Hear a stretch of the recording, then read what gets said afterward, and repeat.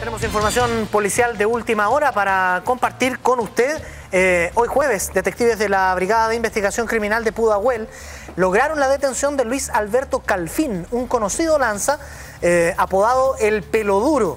Este es el cuarto de los 10 sujetos que la PDI y Metro buscaban para su detención. ¿Recuerda los días más buscados de Chile?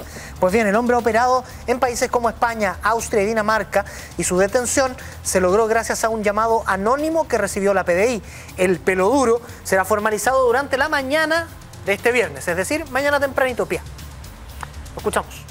En esta oportunidad, nuevamente la policía en un trabajo mancomunado con gente del metro y también con la sociedad una persona llamó al nivel 134 nuestro, entregó una información que fue tremendamente relevante para que la gente de análisis de la Brigada de Investigación Criminal Independencia pudiese lograr la detención de este ciudadano.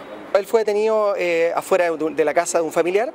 Ellos claramente, eh, como ellos se refieren, están funados porque en todos lados, en todas las en los canales, en todos los, medios de comunicación han salido su foto, por tal motivo ellos estaban escondidos, en esta oportunidad estaba en la casa de un familiar, él al salir eh, en la vía pública, la policía lo controló, eh, dado que tenía una orden de aprehensión pendiente por el delito de hurto, él hoy día, mañana pasa a disposición de los, de los tribunales.